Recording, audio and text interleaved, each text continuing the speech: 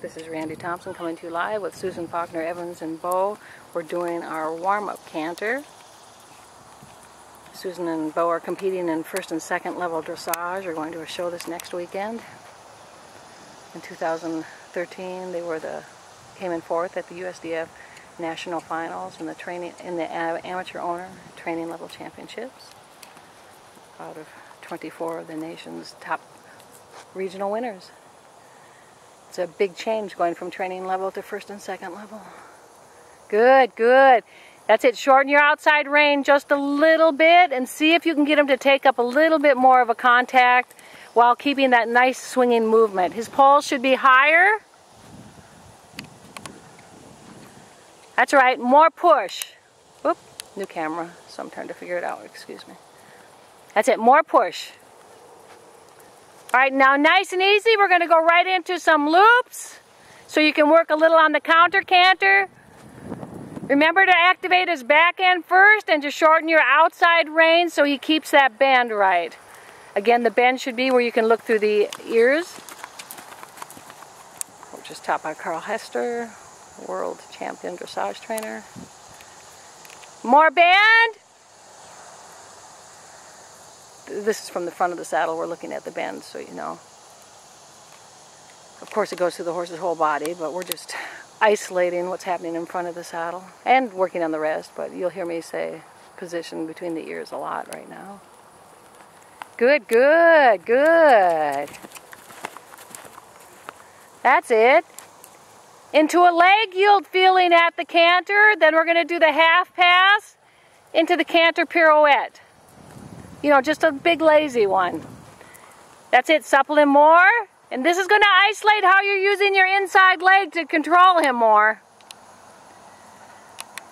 And the leg yield feeling is used to show a rider how to use their inside leg to keep the horse more active. We're not asking for a leg yield at the canter. Good, good. Get him active on the outside hind. Keep your lower leg forward. You're starting to bring it back instead of using your calf. You're using your spur and your heel. Good, good boy, Beau. Nice relaxed canters. And what we're doing is we're playing with what length of rein to use with him. If the rein is too short, he goes behind the vertical and starts taking short, choppy steps behind. So we're playing with going with maybe a little longer rein so we can keep his hocks moving in circles instead of like an egg laying on its side. Good, rolling, rolling, rolling. That's it. Okay, now shoulder in into half pass. Okay, we just started this way. This we're going to go back to the leg yield. I knew that.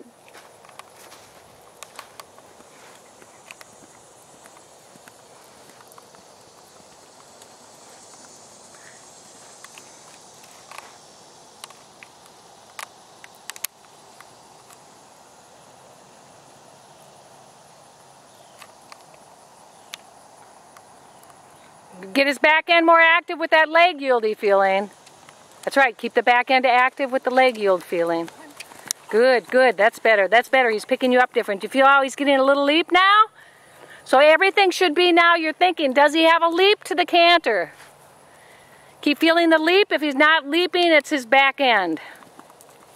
Keep the leap, keep the leap, keep the leap, keep the leap, keep the leap. Good, good. Keep the leap, keep the leap. Good, Susan. And that's all the shorter you need the rein, just enough to keep that leap.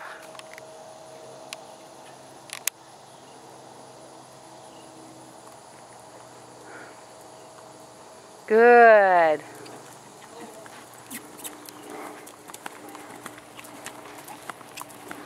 Keep the leap, keep the leap, bring your shoulder in more, remember the bend. So by looking through the horse's ears, the riders bring the horse's shoulder over more for the bend. Good!